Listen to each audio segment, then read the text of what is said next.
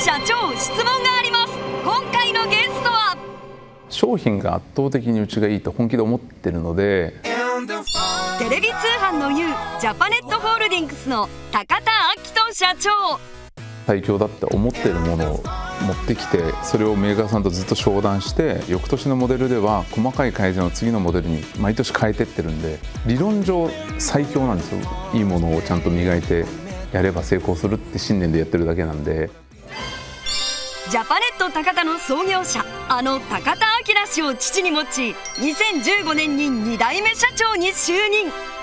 事業継承後も過去最高売上を更新し続けるカリスマ経営者だ。偉大すぎる父との知られざるエピソードが次々と明らかに。揉めたりってことは特になかったんですか？めめちゃくちゃありました。はい。あ揉めてたんですか？揉めてました揉めてました。やめようかなとかって思ったことはありますか？ジャパネット、えー、ありますよ。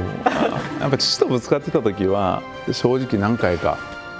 思いましたね。でも本当にボロボロになって何のためやってんだろうみたいなのはあって。一方で父への秘めた思いも激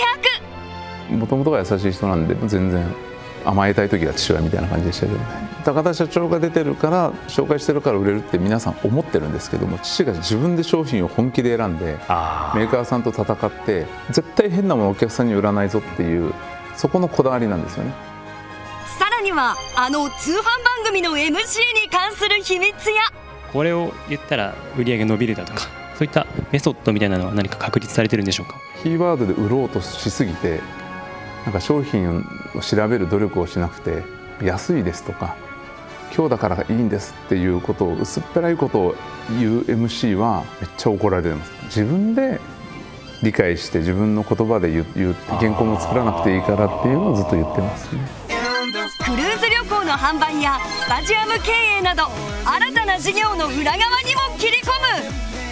クルーズ単体でちゃんと儲かってるんですか？儲かってると売り上げでも多分150億とかいってるのでクルーズを販売すると船で4000人ぐらい乗った方が夜な夜なもう60歳70歳の方が夜踊りまくってるんですよあとはサッカーチームとバスケットチームも経営してるんでやっぱ満員のスタジアムとか満員のアリーナでみんなが歓喜してる姿見ると、まあ、やっぱジャパネットがあってよかったなっていうのは実感しますね。そして高田社長に忖度ない質問をぶつける異業種社員は？お父様の方のイメージが強いので今の社長さんのイメージがちょっとまだついてないっていうところがあるんですけど 今日あのいろいろお聞きしたいなっていうふうに思ってます。商品を取り扱って消費者に届けている会社さんであるので取り扱っているものの良さをきちんとアピールできる点そういった秘訣だとかちょっと学びたいと思います。大丸松坂屋と三菱鉛筆の2社。企業のトップと異業種社員のガチンコトークバトル。社長質問があります。スタートです。よろしくお願いします。はいお願いしますお座りください。はい。さあそれでは参りましょう高田さんこの2社とはそんなに普段付き合いは？そうですね。業界で。でも三菱鉛筆さんは社長がすごい仲いいんで。あ個人的に？はいこの前会ったらなんかうちの社員が質問に行くらしいって言われたんで。はい。そういう意味ではよく知ってる会社です、ね、あそうなんですね。番組では大丸松坂屋三菱鉛筆。さらに一般視聴者から100個のあらゆる質問を募集会場でその質問を初めて聞く高田社長に時間が許す限り答えてもらい嘘偽りのない本音のビジネス哲学を引き出す。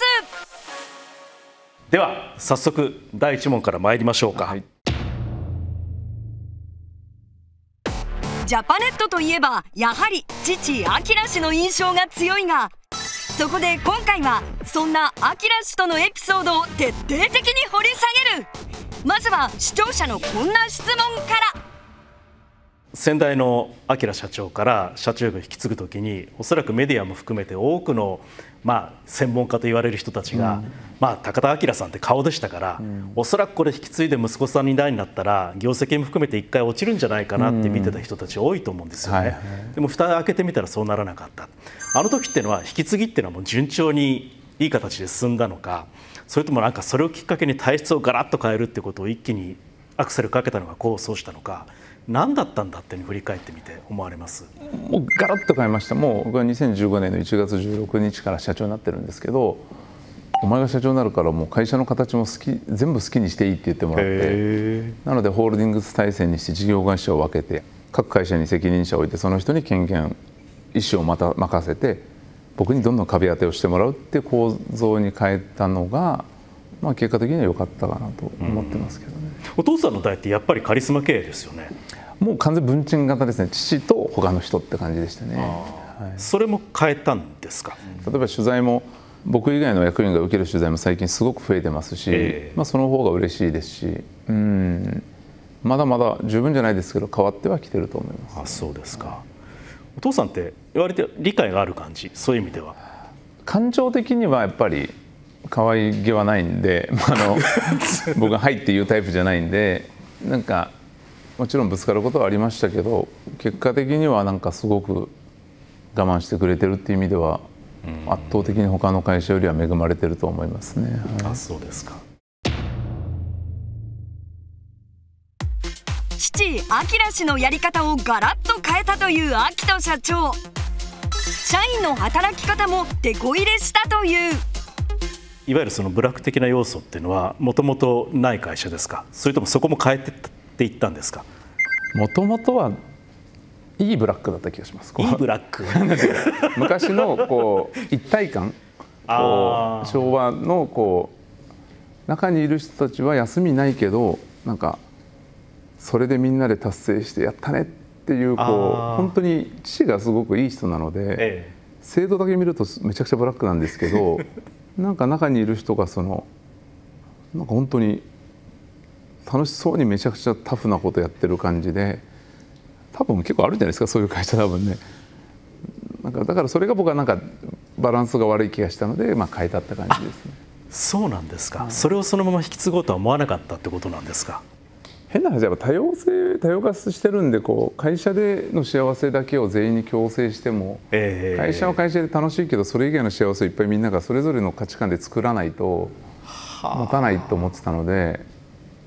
それで結構ガラッと変えましたね。これでももしそうだとしたらかつてそういう状態で、まあ、部活みたいなノリでね、はい、みんなで一致団結して辛い思い一緒にしましょうみたいなところから変えるのって、うん、実はものすごい大変だったんじゃないかなと思うんですけど。これ恵まれてたのが父は役職登用してないので今300人いる役職のうち昔から役職だったメンバー多分10人20人しかいないんですよ。えー、で僕が社長になって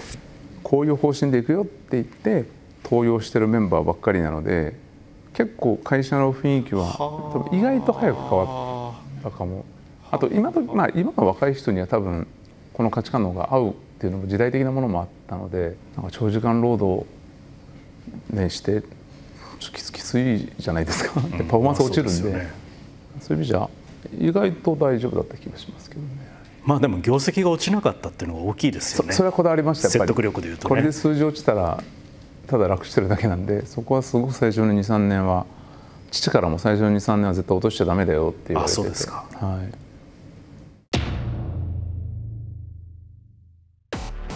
い、しかし父明氏から経営を引き継ぐまでには実はいくつもの親子の衝突があったという。高田社長自身が会社を辞めたいとか辞めようかなとかって思ったことはありますか？ジャパネットえー、あの え ありますよ。やっぱ父とぶつかってた時は正直何回か思いましたね。父が好きだからみんなでバイヤーチーム一丸となって分析してデータを出してこの商品やりたいって言ったら違うって結構頭おらしい「ノー」って言われると「えー、いやいやデータ上こうでしょ」みたいな。そうすると「いや俺の感性が違うんだ」やでもやらないと分かんないでしょみたいなバトルがでも本当にボロボロになって何のためやってんだろうみたいなのがあってあれまあやめたいとは言わなかったですけどいやさすがにきついなっていうのはありましたけどね。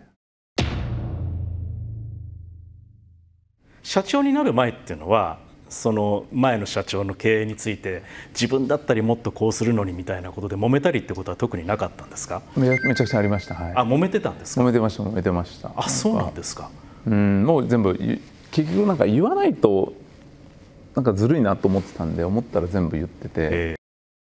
ジャパネットの高田社長が異業種の質問に答える社長質問があります商品が圧倒的にうちがいいと本気で思ってるので理論上最強なんですよ。